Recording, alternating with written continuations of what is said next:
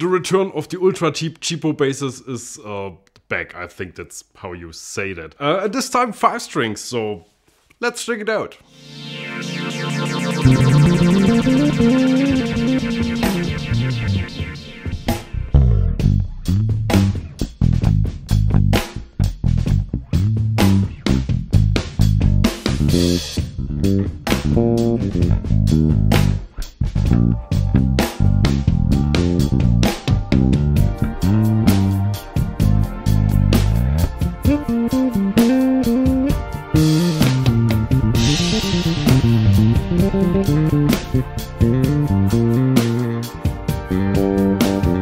Hi everyone, Gregor here and today I'm accompanied by my buddy Phil Rehm on this Harley Benton PJ5 SBK Deluxe Series bass. First impressions count. If you master the first impression, I think the world is in your hand.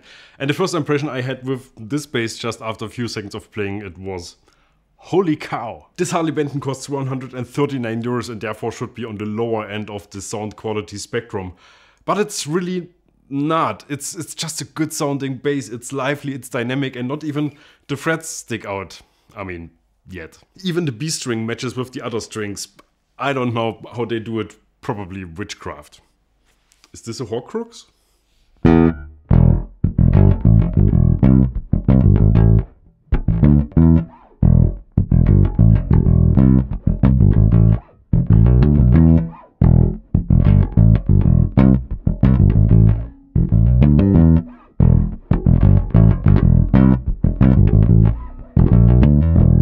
This PJ5 comes with a basswood body, which is kind of a popular substitute for alder or ash, which you would usually find on more higher budget bases. I personally have no problems with that at all. I actually like basswood, and unlike in basses, if you look over to the guitar world, you will actually find this in some top of the line instruments. So no need to look down on that just because it's cheaper than alder or ash. Underneath the black finish sits a maple neck standard and as fretboard we have again rose acre or rose ace, I don't even know how to pronounce this. I believe it's just a made up word to call this unknown wood, which is which just sounds to me like a hardened wood, like like something like a crossbreed between maple and ebony.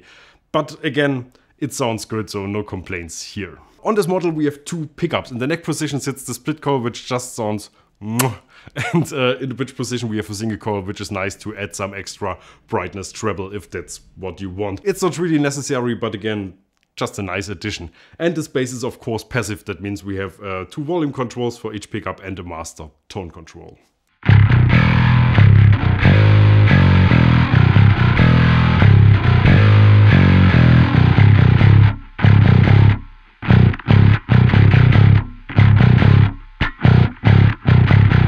I know I can't generalize here, but this particular B string sounds great. Uh, on the next bass, who knows, uh, with 34 inch uh, scale bolt on 5 string basses, it's always a bit of a gamble, but whoever gets this particular bass here, I mean, uh, you will get lucky. If you're on the market for a very affordable 5 string, I think this is a great choice. Of course, uh, the mechanical parts like the tuners are not like the top notch quality, but uh, yeah, who would expect that from a bass that costs 139 euros, which I think still is, is crazy. Crazy times we're living in. If you want to try it out, check the link in the video description below, which leads you to the Thomann website who are selling this bass. And otherwise, thanks for watching. Please subscribe to our channel if you want to help us out. Please like this video and otherwise, see you next week. Bye bye. Bass